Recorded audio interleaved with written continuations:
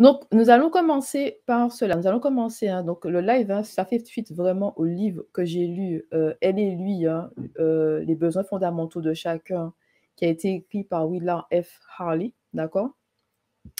Et euh, dans ce livre-là, il parle en fait du concept de la banque d'amour, de la banque de l'amour, d'accord? Donc, il met vraiment l'accent sur le fait que quand on se rencontre au début, cette banque-là, dire, si il faut voir ça comme si on met de l'argent ou on retire de l'argent, d'accord? Donc, cette banque d'amour, quand on se rencontre, ça se remplit. Le compte se remplit parce que nous passons des moments ensemble, des moments qui sont bons, d'accord? De bons moments ensemble, d'accord? Il y a vraiment pour nous les femmes les papillons dans le ventre et tout. On a hâte hein, de rencontrer euh, euh, notre prétendant, on a hâte de passer du temps ensemble et tout.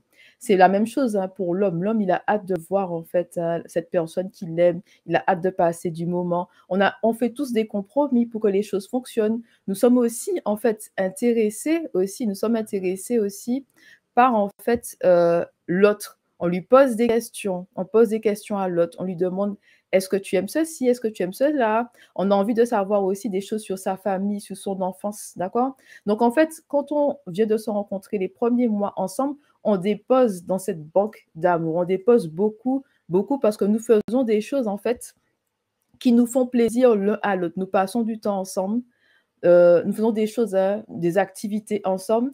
Il y a vraiment ça. Au début, on a l'impression d'être vraiment dans cette bulle d'amour. On ressent beaucoup de choses pour l'autre. C'est que du bonheur et tout. On est vraiment concentré l'un sur l'autre. D'accord? La priorité, c'est en fait ces trois. La priorité, hein, c'est la femme. La priorité, c'est l'homme. On est vraiment concentré dans cette petite bulle d'amour. Ça fait du bien on regarde son téléphone et on voit en fait les messages hein, de l'être aimé et nous sommes vraiment heureux. Nous sommes heureuses de voir ça. Donc Véro nous dit, on apprend à se connaître au début, oui, mais tout beau, tout nouveau, vraiment, les débuts sont toujours merveilleux et magnifiques, d'accord Les débuts, on n'a pas, c'est comme si on commence des habitudes ensemble. Recevoir le message de l'être aimé le matin, ça fait du bien. Donc tout ça, toutes ces petites choses-là qu'on fait au début, ça remplit en fait cette banque d'accord, notre compte, d'accord, la banque d'amour, elle se remplit à chaque fois, d'accord, elle se remplit, elle se remplit jusqu'au moment où vous vous, dites, oui, c'est la bonne personne pour moi, c'est le bon mari, c'est le mari, je le vois en lui le mari, je vois en elle l'épouse, et j'invite tout le monde toujours à prier. Hein. Avant de dire oui, avant d'aller trop loin, il faut toujours prier pour demander à Dieu si c'est la bonne personne hein, pour vous ou pas. Il faut toujours prier et demander à Dieu. Toujours, toujours prier, mettez Dieu dans tout, ne vous laissez pas avoir hein, par les, beaux visages hein, et les belles paroles et aussi le sentiment. Le sentiment amoureux naît quand on passe beaucoup de temps ensemble, d'accord? Vous pouvez aimer quelqu'un, ce n'est pas la bonne personne pour vous. Donc, il faut toujours mettre ça au pied du Seigneur. Vraiment toujours mettre ça au pied du Seigneur. Donc, et après, ce qu'il nous parle, c'est que le mariage, en fait, c'est quelque chose de merveilleux et de beau, sauf que c'est difficile. Le mariage est difficile parce que vous restez avec la même personne tout le temps. Vous êtes dans la même maison, d'accord Dans la même maison. Vous êtes tout le temps ensemble. Donc, le mariage est difficile parce que c'est deux personnes différentes qui forment qu'une seule chair, d'accord? Et euh, Véro dit, même s'il y a des points négatifs au début, on préfère ne pas voir. Oui, d'accord Donc, des fois, on a toujours les signes que ce n'est pas la bonne personne, mais le, mais on va essayer de rationaliser, de se dire non, ça va marcher. tout. C'est pour ça que j'invite tout le monde vraiment à mettre ça au pied de Dieu. Donc la banque d'amour se remplit, elle est remplie, elle est à rabord, elle déborde. Elle déborde pourquoi? Parce que nous passons que de bons moments, d'accord? Donc ce qui se passe en fait, quand on commence à vivre ensemble, quand il y a le quotidien, il y a des choses euh, qu'on faisait, d'accord, que parfois on n'a plus envie de faire parce qu'on se dit qu'on est déjà marié, on est déjà ensemble, donc je n'ai plus en fait à faire des efforts. Ou encore, je peux me laisser un peu aller, je peux dire non pour certaines choses, je fais moins d'efforts. Et c'est à ce moment-là qu'en fait, il y aura des il y aura des retraits dans cette banque d'amour. Il y aura des retraits, retraits, retraits, retraits. Et quand il y a trop de retraits, en fait, ce qui se passe, c'est que vous ne sentez plus ce sentiment amoureux pour la personne. D'accord? Parce que tout ce qu'on faisait au début, c'était naturel. Sauf qu'après, dans le mariage, la routine s'installe et ce n'est plus naturel de faire certaines choses. À ce moment-là, ça demande des efforts, en fait, de continuer de faire certaines choses. Et ce qu'on ne comprend pas dans le mariage, c'est que les choses ne vont pas forcément venir naturellement. Il y a un moment, il faut prendre des décisions de faire plaisir à l'autre ou de continuer à faire des activités, d'accord? De faire des activités avec cette personne-là, même si en fait on, sent qu'on n'a pas forcément envie de faire ça. Il faut maintenir en fait la romance. il faut par exemple, hein, si vous avez des enfants, prendre du temps au moins une fois par mois, d'accord, là que dating, d'accord, c'est-à-dire aller au restaurant ensemble, euh, partir en week-end ensemble, d'accord? Partir en week-end, vraiment essayer de maintenir cette romance, d'accord? Parce que le couple est déséquilibré à chaque fois que la situation familiale change, d'accord? Par exemple, vous étiez à deux, vous avez des enfants, le couple est déséquilibré. Surtout pour les, les, les, femmes, en fait. C'est-à-dire que quand nous avons des enfants, il y a, on a ce nouveau rôle de mère et on sent qu'en fait, les, les enfants demandent beaucoup. Donc, parfois, on peut délaisser le mari pour pouvoir vraiment, en fait, être une mère. Donc, on cesse en fait d'être l'épouse, on est plus la mère. Et l'homme, en fait, il, se dit que j'ai plus ma place. Elle, est tout le temps concentrée sur les enfants et en quelque part, elle m'oublie. D'accord? Donc, il peut, se, il, peut se passer ce genre de déséquilibre. Ça peut être aussi un déséquilibre par rapport à la belle famille, d'accord? La belle famille qui prend trop de place. OK? La belle famille prend trop de place. OK, déséquilibre. Ça peut être le travail. Vous changez de travail, vous passez beaucoup plus de temps, d'accord, dans le travail, vous faites beaucoup plus d'heures. Vous avez un poste euh, à responsabilité, manager, responsable, manageuse, responsable, d'accord, d'un département, par exemple, chef d'entreprise. Hein. Ici, hein, d'accord, nous voyons grand, les enfants de Dieu. Hein. Le Seigneur peut vraiment faire l'impossible dans nos vies, d'accord. Donc, voyons grand. Donc, on a des postes à responsabilité nous sommes des preneurs et des preneuses de décision, ok? Non, écoute, hein, je proclame ça dans votre vie déjà là. Donc, euh, peu importe là où vous êtes, le Seigneur peut faire de grandes choses. Hein, et tout, si vous êtes en vous marchant en synchronicité avec Dieu, l'important, c'est, toujours non, là où Dieu veut que vous soyez, ok? Donc, il y a ça. Et en fait, ce qui va se passer, c'est euh, quand il y a des mauvaises expériences, quand on est déçu en fait par l'autre, c'est des retraits qui se fait dans la banque d'amour. C'est des retraits, retraits, retraits. Et dans le livre, en fait, hein, l'auteur vraiment conseille, conseille au couple, euh, au couple marié de, de, faire des choses pour maintenir la romance. C'est-à-dire qu'il faut vraiment être intentionnel dans le mariage pour maintenir la romance mois après mois, année après année. Ça veut dire que les deux personnes, en fait, doivent faire des efforts. Vous devez faire tous les deux des efforts pour maintenir la romance. C'est pas quelque chose qui est naturel, d'accord? C'est pas quelque chose qui est naturel après cette période de deux ans, la période lune de miel. C'est pas naturel parce que vous, en tant que vous êtes dans un mariage, mais le mariage n'est pas dans une bulle. Vous êtes dans ce monde, d'accord? Vous êtes dans ce monde. Il peut y avoir le stress du travail, les enfants, la belle famille. Si une personne, par exemple, il y a un papa ou, la grand-mère ou, le grand-père est malade, vous devez faire plus des allers-retours euh, de l'hôpital à, chez vous, de la maison de vos parents à chez vous parce qu'il y a, votre mère ou votre père qui a besoin de vous, d'accord? Donc, il peut vraiment avoir des choses, en fait, hein, qui alourdissent, en fait, hein, euh, euh, alourdissent votre charge et ça a des effets sur votre mariage, d'accord?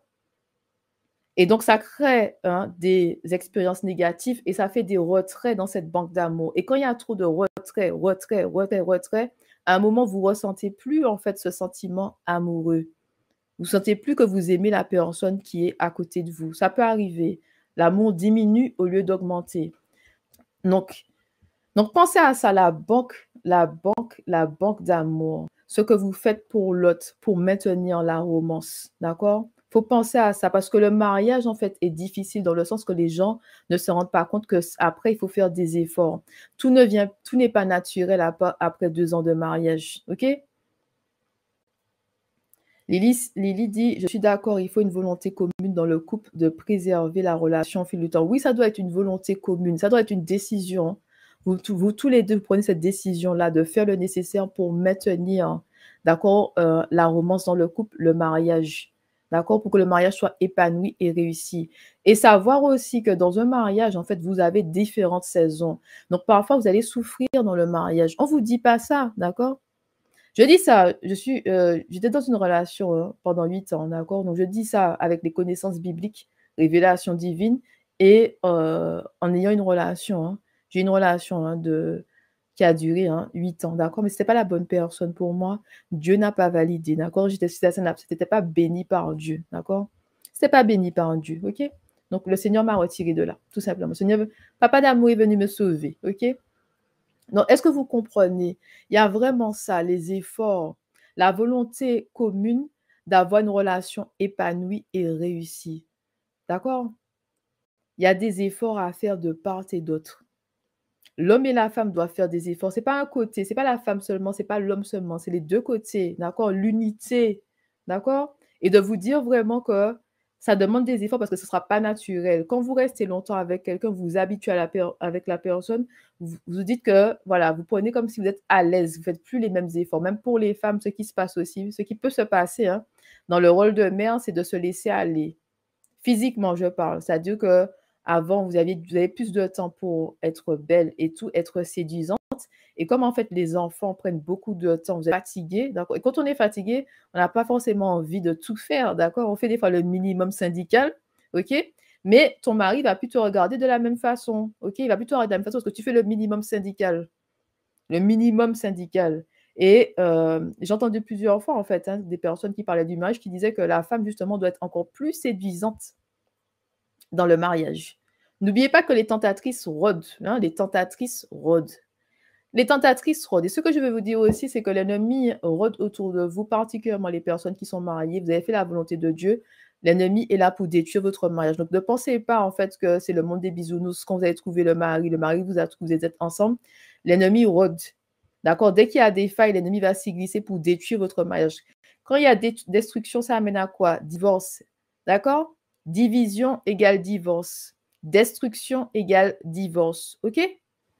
Non, j'ai jamais dit, Véro, que c'est à la femme de faire plus d'efforts que d'autres, que l'homme. Hein. J'ai jamais dit ça. Et ce qu'il faut savoir, c'est que le, problème aussi, hein, euh, d'une manière générale, c'est que vous cherchez aussi la, réciprocité au niveau de l'autre. D'accord? L'homme doit faire des efforts, mais pas forcément de la même façon dans le mariage. D'accord? Mais de toute façon, vous mariez quelqu'un, excusez-moi. Moi, je suis. Écoute, écoutez, je me marie hein, avec mari de Dieu. Donc, mari de Dieu, hein, mari de Dieu. Promesse de Dieu, mari de Dieu. Vous croyez que le mec, il va se laisser aller quand même? Moi aussi, j'ai besoin de plaisir des yeux dans la maison, ok? Donc, ok? Mais quand je parlais des femmes, c'est parce que quand nous avons les enfants, il y a beaucoup de femmes qui se laissent aller, qui se négligent parce qu'elles ont des enfants. Elles sont concentrées sur les enfants, sur le rôle de mère. Elles oublient le rôle d'épouse. Donc, c'est pour ça que je parlais des femmes en particulier. D'accord? Parce que c'est difficile en fait au début. Et quand vous venez d'avoir des enfants, vous ne connaissez pas tout. Donc, vous essayez du mieux que vous pouvez de jongler avec tous les rôles. D'accord? Vous essayez du mieux. Et parfois, en faisant ça, des fois, on s'oublie parce qu'on met les enfants. Les mamans, le cœur, des mamans, c'est d'abord mes enfants. Mes enfants. Est-ce que mes enfants mangent bien? Est-ce que mes enfants, hein, les, les, bonnes mères, hein, je parle ici, vous savez, hein, il y a des mères, voilà. D'accord. On peut avoir des enfants, ça ne veut pas dire que nous sommes des mères. Hein. c'est la même chose pour les pères. Hein. Vous pouvez avoir des enfants, mais ça ne veut pas dire que vous êtes de bons parents. D'accord? Non, j'ai eu beaucoup de cas comme ça quand je travaillais dans la collectivité sur des dossiers d'abus, hein, d'abus sur mineurs, abus physiques, abus sexuels, abus émotionnels. Il y a eu beaucoup de cas où il y a des personnes qui ont des enfants, mais qui n'ont pas ce côté maternel. D'accord? Ils ont des enfants, oui, mais les enfants sont là. quoi. Donc voilà, c'est pour ça que je dis ça. C'est pas pour être. Euh, c'est la vérité, tout simplement. Je passe pas par quatre chemins. C'est la vérité. Il y a des personnes qui ont des enfants, mais qui n'ont pas ce rôle de parents. Oui, ils ont des enfants, mais ce ne sont pas des parents vraiment. Ils ne s'occupent pas des enfants. Vous là où OK? Non, voilà. Donc, il faut faire attention à ça. Encore une fois, j'insiste sur le fait que l'ennemi rôde. Vous devez être une équipe, un partenariat dans le mariage pour que ça puisse marcher. Faire des efforts l'un et l'autre pour que la romance puisse perdurer tout au long de votre mariage. Et il y a des saisons où vous allez souffrir. L'homme va peut-être plus souffrir plus que la femme dans, certaines saisons. La femme va peut-être souffrir plus que l'homme dans d'autres saisons. Ne, cherchez pas la, la, réciprocité dans les saisons de souffrance. OK? Ne cherchez pas. Ne dites pas que dans cette saison, parce que je souffre euh, plus, que voilà, vous êtes énervé derrière votre épouse, votre époux, parce que dans une saison, vous souffrez plus. Ça arrive, d'accord? Ne cherchez pas la réciprocité dans la souffrance parce qu'il y a différentes saisons dans la vie d'un couple. Et parfois, l'homme va souffrir et parfois, c'est la femme qui va souffrir plus. OK? Le plus important, c'est de se battre pour votre mariage et de, se rappeler que vous devez faire des efforts, en fait, pour maintenir la romance, pour avoir hein, une, une relation, un mariage épanoui et réussi. OK? C'est important. Donc Véro dit, c'est vrai, nos enfants sont une partie de nous, les mamans, donc on peut faire de nos enfants notre priorité si on ne fait pas attention. Mais en fait, tout ça, avec ce qui se passe aussi, c'est que les enfants peuvent devenir des idoles, d'accord? C'est-à-dire que les mamans, elles voient que l'enfant, que l'enfant, que l'enfant, que l'enfant, mes enfants, mes enfants, mes enfants. Vos enfants sont des idoles. Ils deviennent des idoles, en fait. Dans votre cœur, il n'y a plus de la place. Il n'y a plus de place pour votre mari. C'est mes enfants, mes enfants. D'accord? Donc Lily dit, nous attendons le 50-50 dans le couple, mais ce n'est pas le cas. Nous formons une seule chair et nous attendons du, donnant-donnant, alors que ce n'est pas souvent le cas, oui. Hein. Mais j'ai écouté, en fait, j'ai, je regarde à un moment beaucoup de, beaucoup de vidéos sur YouTube sur le mariage et de femmes qui sont mariées qui disaient justement que euh, le 50-50, c'est une utopie, en fait, c'est un fantasme. Il n'y a pas de 50-50 dans le mariage. Et même, il y a une fois, j'écoutais Michelle Obama qui parlait de son mariage. Elle disait elle-même que des fois, euh, c'était comme si c'était plus son mari, en fait, qu'elle devait faire plus d'efforts pour son mari. Et des fois, c'était le contraire, plus pour, pour elle, d'accord? Et ça dépend vraiment des saisons, en fait, des saisons de, euh, de la vie, des saisons dans le mariage, de ce que vous accomplissez, ce que Dieu vous appelle à faire dans différentes saisons.